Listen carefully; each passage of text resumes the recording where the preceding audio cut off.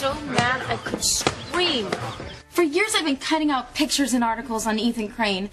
And, and when I finally get a chance to see him in person, maybe even meet him, what am I doing?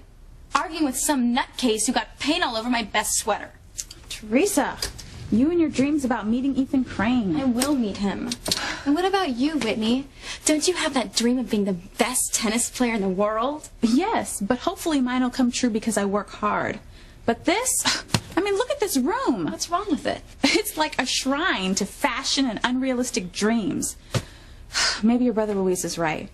Maybe you are living too much in a fantasy world. I don't believe it. Has Luis brainwashed you? Next thing you'll be telling me I should take that job at the Burger Hut. You do need money for college. I'll find a way to make money myself and help Mama out too.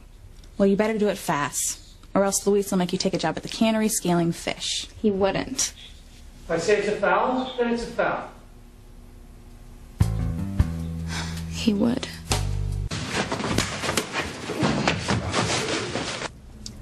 You think pit bulls can take human form? Because that's what Luis is, a pit bull.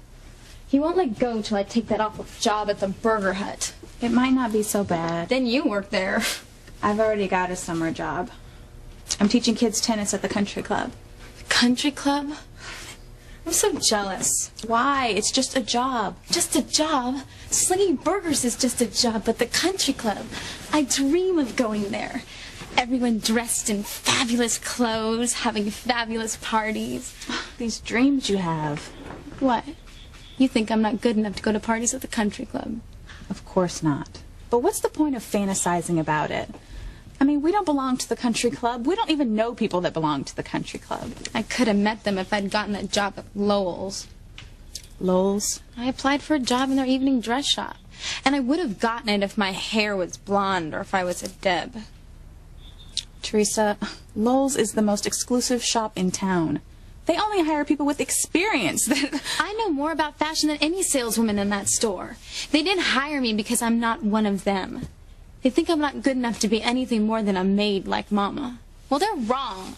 I'm going to have a big house one day, as big as the Cranes, and I'm going to let Mama give the orders, not take them. Mama. Hi, Mrs. Lopez Fitzgerald. Hi, Whitney. Mama, you look tired. Why don't you go lie down? Your brothers will be wanting dinner. I forgot. It was my turn to make dinner. I'm sorry. That's okay. I'll get it. I brought you some magazines that Mrs. uh, Crane was going to throw away. And there's also a nail polish she didn't like. Provocative pink? This is the color this year. Oh, I love it. You look troubled, Mrs. Lopez Fitzgerald. Is everything okay? Sheridan Crane was in a car accident in Paris. Ethan's aunt? Is she all right? I don't know. I pray she will be. Oh, she's had such a painful life. Perfect. Hey, hand me that magazine, Whitney. Sure. Not Elle, City and Country. You and your society magazines. Careful, I know. I like them. It keeps me up on all those people I'm going to meet after I marry Ethan Crane. Mm-hmm. Julian and Ivy Crane with son Ethan at Harmony Hospital Gala. Ivy, that dress isn't right for you. The green dress you wore last month was much more flattering. Oh, you can tell her that next time you're at the country club. I shall. Uh-huh. So pleased to meet you, Mr. and Mrs. Crane. I'm Theresa Lopez Fitzgerald. That's right, of the Lopez Fitzgeralds. Oh, I'm sorry. Who are you?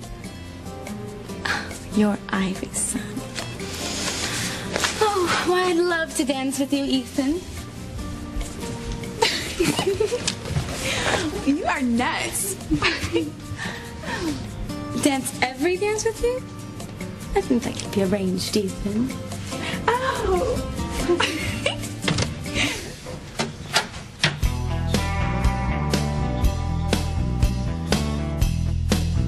you ever heard of knocking? Oh, have you ever heard of responsibility?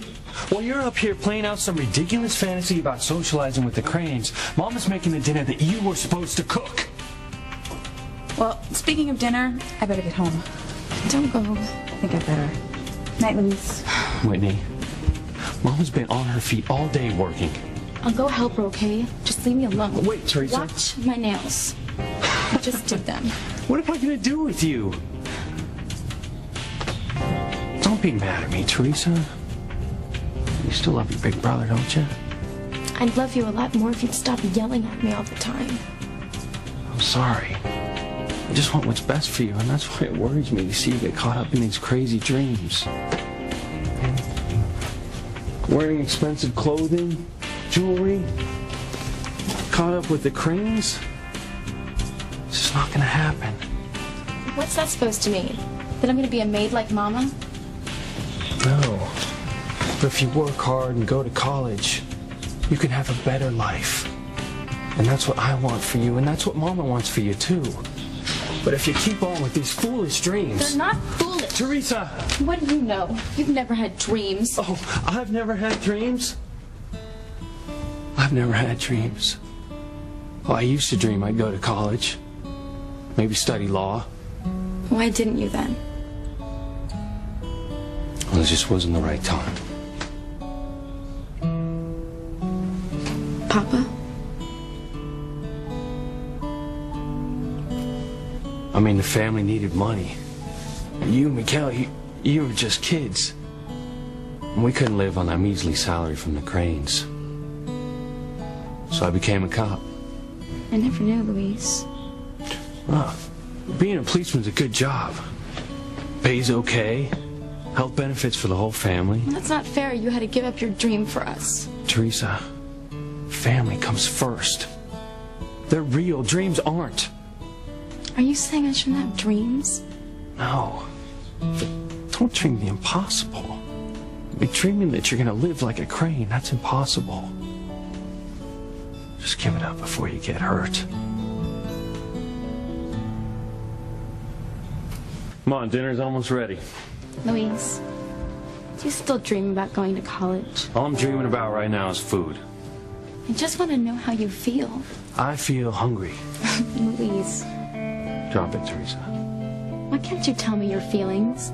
Why do you always have to be so macho? Well, because I'm a macho, macho man. I wouldn't brag about that if I were you. Well, I am who I am, and I'm not gonna change. Well, you better if you're ever going to find a girl to marry. Well, what does that mean? It means you expect every girl to live up to some perfect image. No, that's not true. Just haven't met the right girl yet. Well, you sure have had plenty of girlfriends. In fact, you're still a legend at our school. I hear you were a regular Don Juan. Oh, please. Anyway, my love life doesn't concern you. Oh, but it's okay for you to ask me a thousand questions about all those guys I've been out with. Yeah, well, that's different. You're too young to get seriously involved with anyone. You're so old fashioned. I mean it, Theresa. Don't go ruining your future by doing anything dumb. Don't worry, big brother. I'll still be able to wear white on my wedding day. But that's only because I won't waste myself on any of those boys at school. They're so mature. The first night I make love, I want everything to be perfect. Like a soap opera. Rose petals on the bed, candles everywhere, champagne. I don't care what your bedroom looks like. As long as you have your marriage license first. Enough of these fantasies. Let's go help Mom and Miguel with dinner. Mine as well. I guess my dream about Ethan Crane coming to our front door and sweeping me off my feet won't happen tonight. It won't happen any night. Oh, Miguel. What's going on? It's a fiesta. What am I celebrating? The best mother in the world. I'll dance to that. Senorita? Yeah.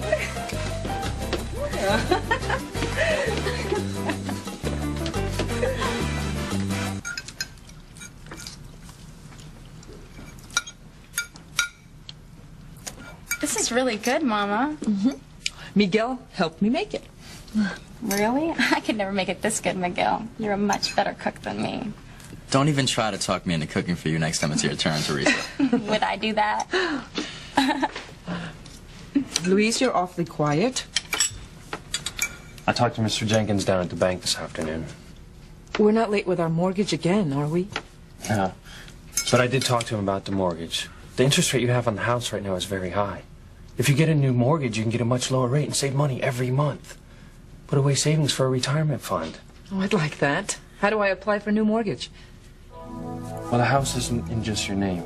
Papa's on the deed, too. And since he isn't around, there's only one way that you can refinance the house.